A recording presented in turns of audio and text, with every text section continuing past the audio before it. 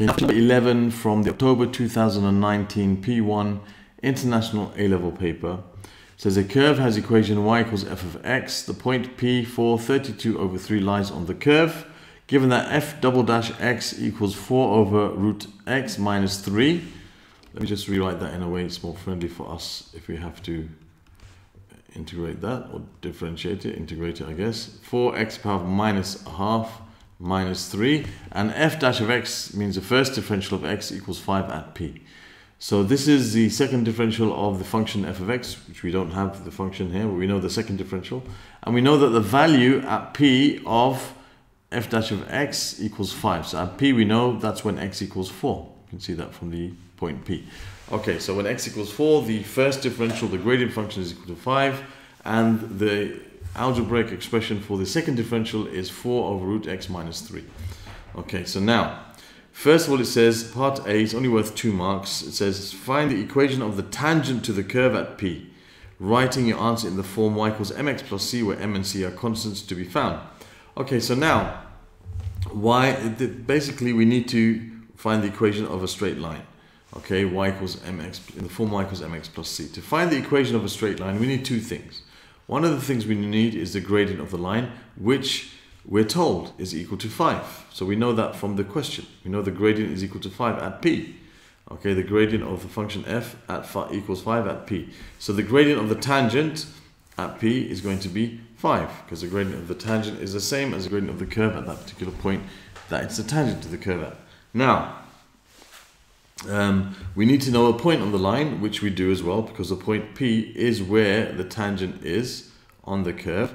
So this is also, this is a point on the line, and this is the uh, gradient of the line. So we can say y minus y1 equals m times x minus x1. Or if you want to use y equals mx plus c if you wish, same thing. So you have y minus 32 over 3 equals m, which is 5, times x minus 4. So you have y minus 32 over 3 is equal to 5x minus 20. So y is equal to 5x minus 20 plus 32 over 3. 32 over 3. So we have to simplify that. So this is like minus 60 over 3 plus 32 over 3, which gives us minus 28 over 3. So y is equal to 5x minus 28 over 3. We can verify that, just in case you have um, 32 minus 60 equals minus 28. Yes, that's right. So there we have the answer to part A. Okay, worth two marks. Everything was given. We had the point, we had the gradient, we had to just stick it to this equation. You just have to understand that this is the gradient of the tangent at P, and this is the point P, which is on the tangent. Okay, so that's part A, pretty simple, two marks. Uh, now for part B. Okay, part B, it says find f of x. So we worked out, what did we work out here? Um, nothing really that we need, okay. So now, we got to find what f of x is. So to find f of x, we have to basically integrate this function to give us to find out what f dash of x is. Okay, to find out the algebraic expression of f dash of x. So if we realize that f dash of x is going to be the integral of f double dash of x with respect to x. So if we integrate that, okay, so you have the integral of 4x to the power of minus a half minus 3 with respect to x. Okay, so that's going to give us, you have to add 1 to the power, so you have 4x to the power of a half over a half minus 3x, and don't forget the plus c, very important, especially in a question like this. Don't forget the, the plus c. So this is f dash of x. Okay, so f dash of x, if we simplify that a little bit, that's going to be 4 divided by half, which is 8. So you have 8x to the power of a half minus 3x plus c. Now what we know is f dash of x equals 5 at p, which is when x equals 4. So I can use that information to find what this c is. Okay, so I know that when x is equal to 4, f dash of x is equal to 5. Okay, so we can say 5 is equal to 8. Now, x to the power of half means the square root of x. So the square root of 4 minus 3 times 4 plus c. So 5 is equal to 8 times 2, which is 16, minus, let me simplify that, 8 times root 4, which is 16, minus 12 plus c. So 5 is equal to 4 plus c. So c is equal to 5 minus 4, which is 1. So therefore, we found what f dash of x is. f dash of x is equal to 8x to the power of a half minus 3x plus 1. Okay, that's the equation f dash of x. But we're asked to find what? We're asked to find um, f of x. So f of x, therefore, is going to equal the integral of f dash of x. Okay, so we know what f dash of x is in its totality. It's 8x to the power of a half minus 3x plus 1. So we've got to integrate that with respect to x. I remember to write that there? I did, yes, okay. Now, so this is going to equal 8x to the power of 3 over 2 divided by 3 over 2 minus 3x squared over 2 plus x and again plus another c. Okay, this c is different from the other c. So we could, if you want to make it clear that it's different, you can call it anything else. You can call it b, you can call it k. Let me just call it k. Okay, it's a constant of integration. All right, so I called it k in this case to, to make it different from this c over there. Um, so that, if you simplify it, is going to be 8 times 2 over 3, which is 16 over 3. Remember, when you're dividing by a fraction, you're multiplying by its reciprocal. Um, minus, oh, that's x to the power of 3 over 2. X to the power of 3 over 2. Minus 3x squared over 2 plus x plus k. So that's what f, f of x is, but we can't leave it like this. We have to find what that k is.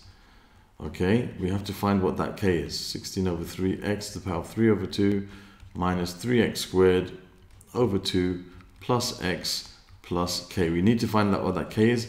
Now, how are we going to find what that k is? Well, we know a value of x and y which satisfies the equation of the curve because p lies on the curve.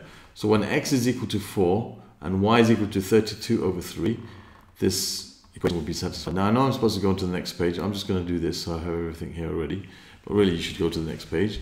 But p is equal to 4 and 32 over 3. Let me just confirm that in case I didn't copy down right. Yes, it is. Okay. Now, so I know that this is the x value and this is the y value of the point P and that will satisfy the equation of this curve. So if I substitute instead of y, 32 over 3, and instead of x, 4, so I have 16 over 3 times. Now remember, the power of 3 over 2 means um, the square root of the thing cubed. So this is the square root of 4 cubed. Okay, minus 3 times 4 squared over 2 plus 4 plus k. So if I can simplify this, I'll be able to find what k is. So you've got 32 over 3 equals 16 over 3 times, this is the square root of 2, which is, uh, sorry, the square root of 4, which is 2, 2 cubed, which is 8. So this is 16 over 3 times 8 minus, and you're going to have 3 times 16 over 2, okay, which is going to be 3 times 8, which is 24, plus 4, plus k. So your answer for this is going to be, let's just do this. You've got 16 times 8. We can just do this in one step actually, but I'll just do it like this. 16 times 8 over 3 minus 24, oops, minus 24 plus 4 which you know is minus 20 anyway. 68 over 3, so you have 32, oops, 32 over 3 is equal to 68 over 3 plus k. Okay, just let, uh, was that right? 68 over 3, yes. So k is going to be 32 over 3 minus 68 over 3. Okay, so um, just 32 minus 68, which gives us minus 36. So k is minus 36 over 3, which gives us minus 12. So don't forget to write our answer out because our answer is saying find f of x. We found what k is. So final answer should be f of x equals, I'm going to write down what we had before, 16 over 3 x to the power of 3 over 2 and minus 3x squared over 2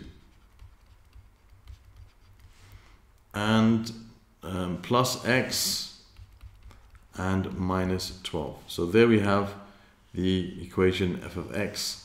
To do a bit of integrating then integrating again and not forgetting to find the value of the constants each time we integrate. So forgetting the plus c's or the plus k's like in this last one is something that will really mess up your answer.